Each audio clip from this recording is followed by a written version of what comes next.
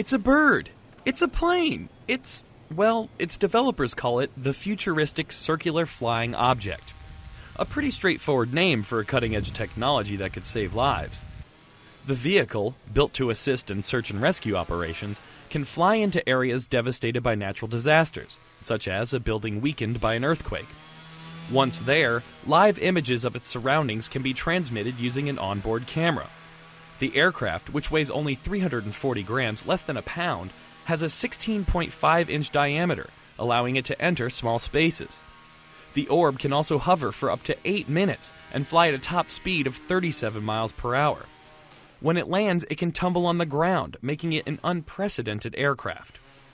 Japanese inventor Fumiyuki Sato says the prototype took him just 16 months to make and $1,360 to design. He was able to purchase all the parts he needed at Tokyo Consumer Electronics stores.